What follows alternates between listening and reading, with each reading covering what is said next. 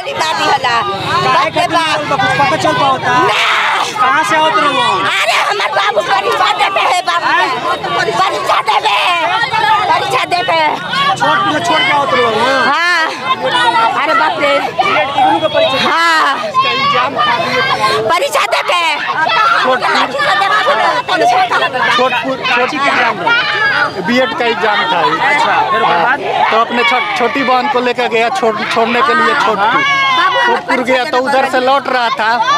तो एक छोटपुर में प्रार्थना कीजिएगा तो उस परिवार के लिए उनका सोना जैसा बेटा जो गया है उसको नहीं लौटाया जा सकता है।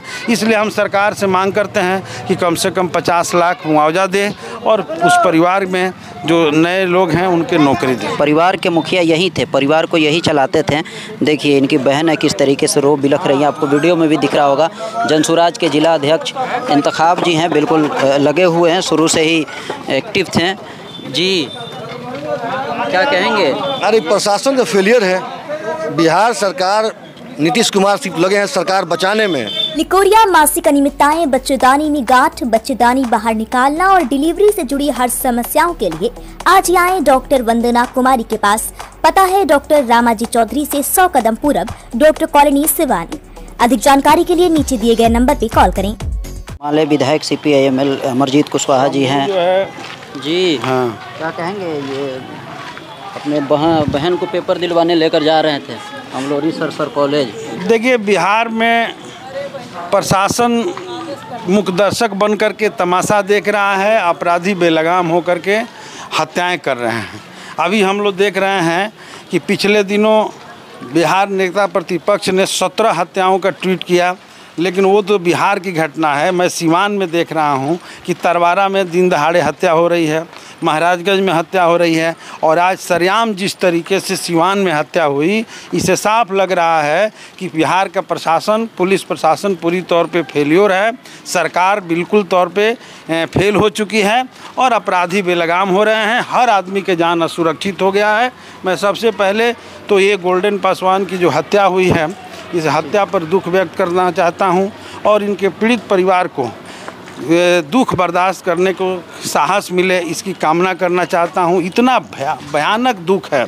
इस परिवार को इतनी बड़ी पीड़ा है, जिसको मतलब कुछ, किसी भी तरीके से उसको जो है रोका नहीं जा सकता है। उनको संतावना देना में हम लोग का कलेजा फट रहा है।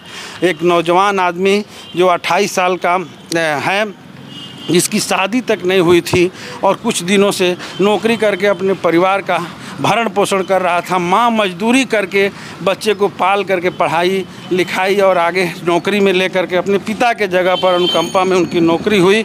अब बताइए, ऐसे लोग जिनसे किसी की कोई दुश्मनी नहीं है और वो दिन दहाड़े हत्या कर दिया जाता है, ये बहुत दुखद घटना है और ये बिहार सरकार के ऊपर एक बड़ा कलंक है। मैं मांग करना चाहता हूँ आपके चैनल के माध्यम से कि निश्चित तौर पे इस घटना का न्यायिक जाँच होना चाहिए।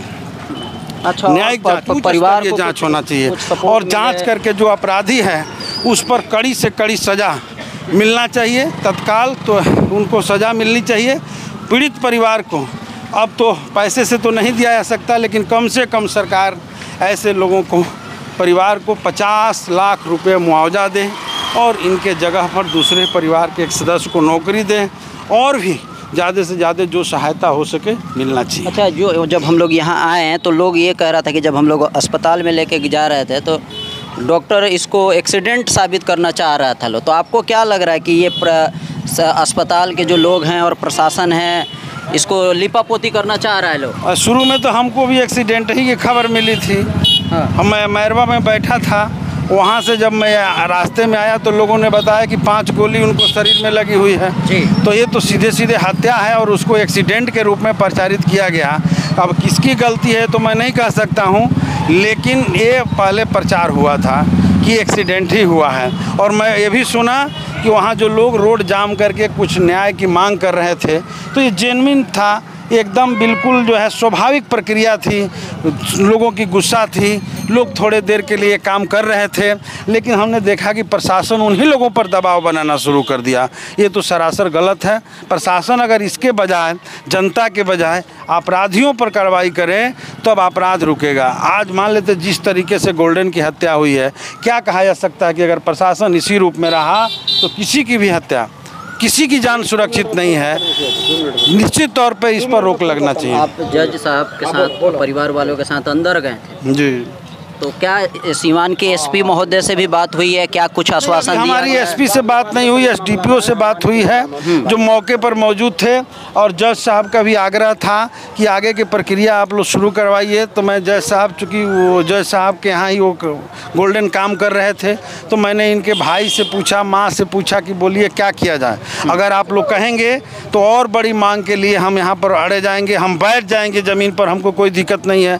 लेकिन उन सब लोगों ने एक सहमति बनाई कि नहीं डिस्पोज किया जाए और लाश का पोस्टमार्टम हो और आगे की प्रक्रिया हो। तो उन्होंने कहा कि हम जल्दी से जल्दी उद्भेदन करेंगे, इसका आश्वासन दिया और जो मुआवजा का प्रावधान है वो दिया जाएगा। हमको जहाँ तक पता है कि एक दलित की हत्या में कल्याण विभाग से आठ लाख रुपए की मुआवजा मिलती है। हाँ पच्चीस हज़ार। ये ये कोई इसके लिए कीमत नहीं होती है। उसको तो लाखों, माने करोड़ रुपया भी दीजिएगा तो उस परिवार के लिए उनका सोना जैसा बेटा जो गया है उसको नहीं लौटाया जा सकता है। इसलिए हम सरकार से मांग करते हैं कि कम से कम पचास लाख मुआवजा दे और उस परिवार में जो नए लोग हैं उनके नौकरी दें।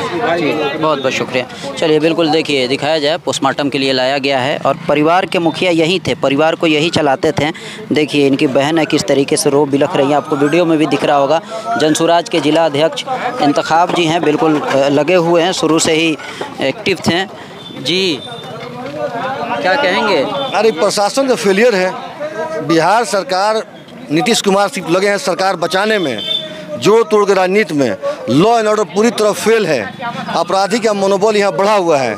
बेचारा इम्तहान दिलवा के बहन का आ रहा था। रास्ते में मार दिया गया गोली। किसी का जान का कोई कीमत नहीं यहाँ पर। प्रशासन एकदम फेलियर यहाँ का। पूरे बिहार का अखबार उठा देखिए पूरे बिहार में डेली हत्या छिनतई सब कुछ हो रहा है गुंडई बैंक डकैती सब हो रहा है पूरे डेली अखबार उठा देखिए आप। लेकिन प्रशासन एकदम निष्क्रिय बना हुआ है। हम प्रशासन से जिला प्रशासन से मांग करेंगे थोड़ा इसका मॉनिटरिंग किया जाए अपराधियों पर अंकुश लगाए थाना वाई लगाया जाए और कड़ी कार्रवाई की जाए कि अपराधी कौन जेल से छूट के आता है उसका भी डिटेल रखा जाए क्या करता है उसका भी हरकत पर निगाह रखा जाए। जो ज़मीन माफिया है इससे भी अपराध बढ़ा हुआ है। इस पर भी कंट्रोल किया जाए। तो, तो उसकी उनकी बहन कितना रो रही थी बिरलख रही थी परिवार की मुखिया हैं ये। अब कैसे क्या होगा? ज़ाहिर सी बात है बेचारे सर्विस में थे सिविल जज के यहाँ थे। अब हम सरकार से प्रशासन से हम मांग करेंगे इनके घर के लोगों को नौकरी मिले जो सरकार से इनके प्रावधान जो है इनको मुआवजा मिलना चाहिए। वे दलित समाज से बेचारे आते हैं इनको। इनको मुआवजा मिले और इनके परिवार के लोगों को एक नौकरी मिले। अब प्रशासन अपना थोड़ा सा लॉ एंड ऑर्डर को चुस्त दुस्त करे। इसलिए बहुत बुरा हाल है। डेली हत्या डेली हत्या सुनने को मिल रहा है। पाता कहाँ से आवत रहो अरे हमार बाबू परीक्षा देते हैं बाबू। परीक्षा देते परीक्षा देते छोड़ के छोड़ के आवत रहो हाँ? अरे बाप रे। हाँ। परीक्षा देते छोट छोटी के एग्ज़ाम बी एड का एग्ज़ाम था उसके बाद? तो अपने छोटी बहन को लेकर गया छोड़ने के लिए छोटपुर छोटपुर गया तो उधर से लौट रहा था। तो एक छोटपुर में प्राथमिक स्कूल है। पूरब साइड है उस कोचिंग के सामने। वहाँ पर इसको गोली मार दिया गया। अच्छा।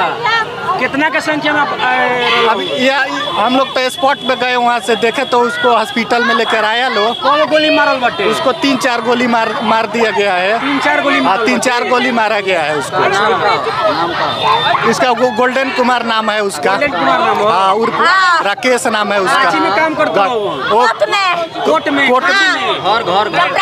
चपरासी के। घर महादेव पिथाना के पास है। काम करते हो वो? हाँ हाँ।